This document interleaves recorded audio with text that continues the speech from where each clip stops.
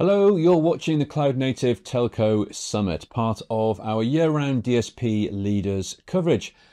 I'm Guy Daniels, and today we're going to take a closer look at containerized applications and cloud native network functions, CNFs, within the telecoms industry.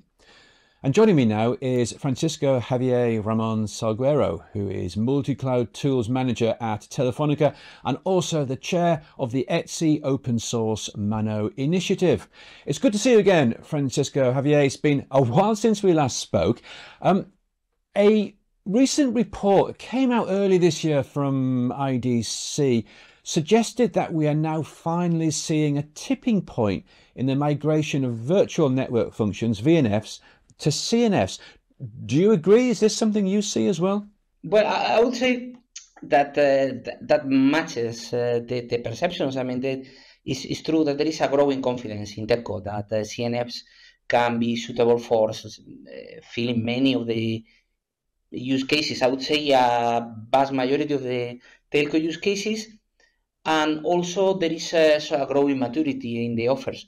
So that is helping on on that. And, you, you see that the, there are also advantages. I mean, if you are adopting CNF in comparison with the VNF, it means uh, more predictability, less trouble, more, more, more clarity on the application lifecycle. That is good for the for the long run to understand how to how to manage and how to scale that uh, that piece of software. And, and, and also, well, the, the things that uh, since we are having more more offers, we are gaining more experience.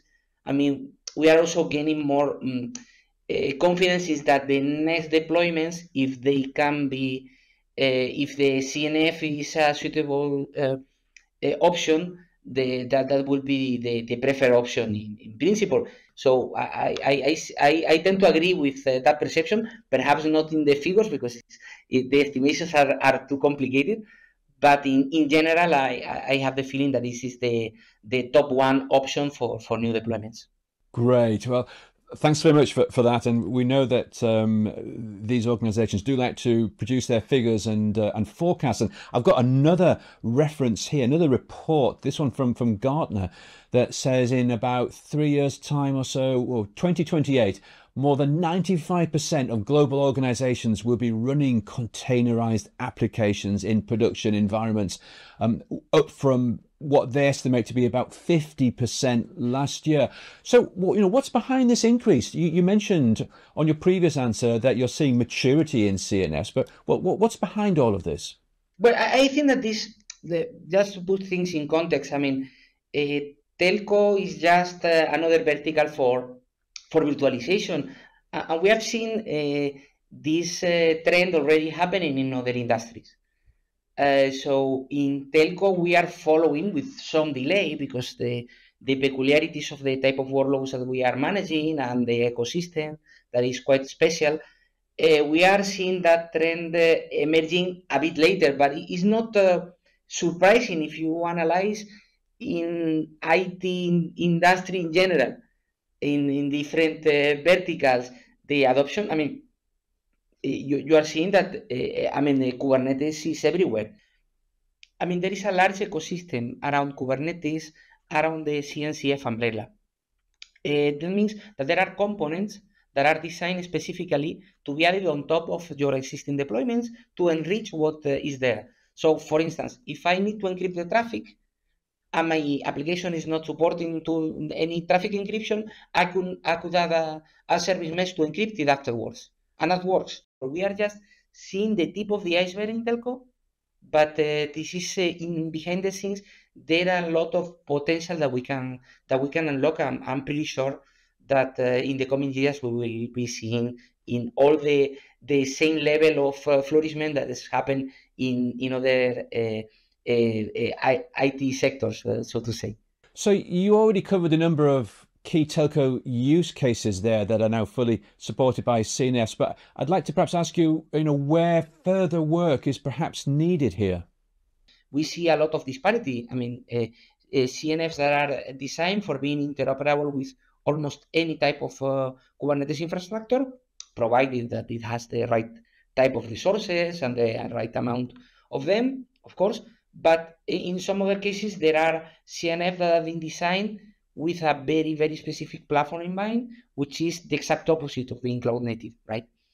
We are still seeing that uh, uh, that orientation for um, verticals and that other uh, ext extreme other end where where there are applications that are designed to to be deployed anywhere, right?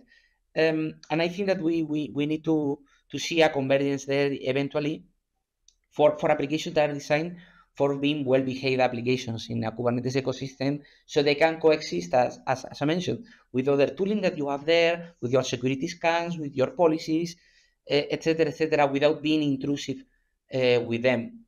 Still, I mean, there are there are rough edges there in industry that hopefully we will be will be solved in the in the in the coming years. It's, it's a it's a process, and and we, we understand that we that we need to go through through that to, to, to get to that level of, of sophistication.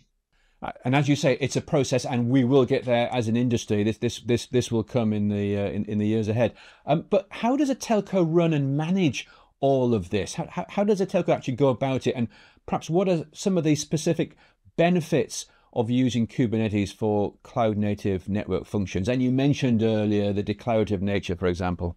I mean, industry is, is going in a in a direction where you find more and more horizontal deployments as well, which have a lot of benefits because in the end, uh, for new a new piece of software, you don't need to do the low low level design from from scratch. You you you can start uh, working with uh, the management pure management of software, right? So there is also a some approaches where are mm, developing where you you see the more horizontal platforms. At some point, those horizontal platforms where you have sufficient confidence, we, we are seeing that there are uh, some sort of uh, GitOps in place where the with well-behaved applications, with applications that do not behave that well, you need to treat them separately, and there are in a Pareto rule the 80% of the effort, I'll say. But uh, in that 20% of the effort, that probably is a is a larger size of the larger share of the uh, deployments, uh, you can start introducing GitOps practices, which simply means that uh, having recording of all those intents of deployment, those uh, declara- declarations of intent that you are doing, having them recorded in a control system, a version control system, so you you have a sort of a time machine of what you have been deploying in case that you need to to roll back or something. That is something that we are we are seeing, and actually we we are working a, a lot in that direction. In the end, what we are trying to achieve, and this is one of the big promises of uh, Kubernetes and this ecosystem around Kubernetes is that it's giving you better robustness and more flexibility combined. So you typically you have a trade-off. You have a trade-off. If I want to be more flexible, I, I, need, to, I need to be less robust, robust because I'm moving faster. But now this technology gives you a, a is a leap forward in, in that sense. And that trade-off, the, the equilibrium is somewhere else much farther and you can go much farther in that robustness and that flexibility without without compromises if you do it well right and, and that is the direction where we are where we are going now Great, thanks for explaining that to us. And one final question for you, and, and this is um, based on a couple of questions we've already received in from viewers for the summit. Uh, and that's the, they mentioned that containers are not monolithic. The ecosystem comprises many components. Can you help explain what some of these components are and why they are important? Yeah, I, I think that that is uh, one of the keys uh, behind the, the Kubernetes philosophy and containerization.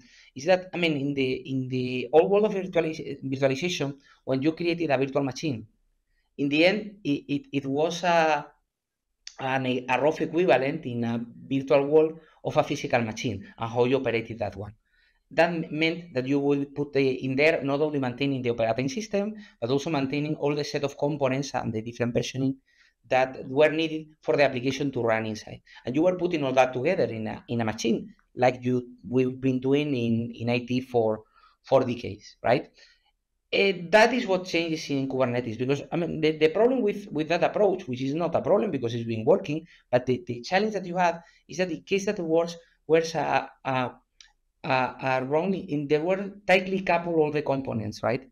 And they need to coexist in the same operating system, the same versioning, and they could be affected substantially with any patching or any upgrade that I did to one of the components, right? And that requires to do it successfully a significant knowledge about what was, how was all that ecosystem uh, working together. And you were quite conservative, although in the in the upgrade of the different components in case that you broke something. That is what the Kubernetes uh, and, and the containers in general allow you to to decouple. I mean, in in the if we thought of our server, uh, we had the good old LAMP. So you have the Linux, you have the Apache, you have MySQL, right, and and PHP, and all they were combined in a specific versions in a one single in one single machine.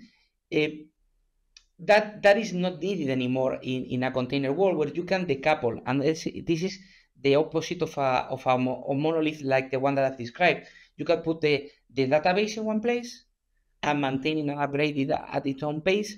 You can put uh, the the from uh, from services uh, somewhere else. You could put some PHP in other containers, and you can maintain them in isolation. And still, you are declaring how they relate each other, so you don't lose the track of what is going on and how they are relating.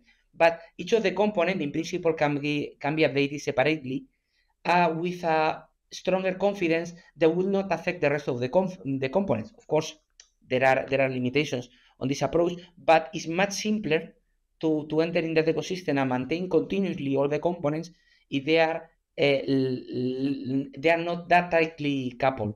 And, and that is that is one of the, the big advantages of, of this approach. Fantastic. Great explanation there. Thank you very much. But we must leave it there for now, Francisco Javier. Good talking with you again. And thanks so much for sharing your views with us today. Now, don't forget to watch all of our videos from this year's Cloud Native Telco Summit. New panels and interviews are available to watch on demand during each day of the event. Goodbye for now.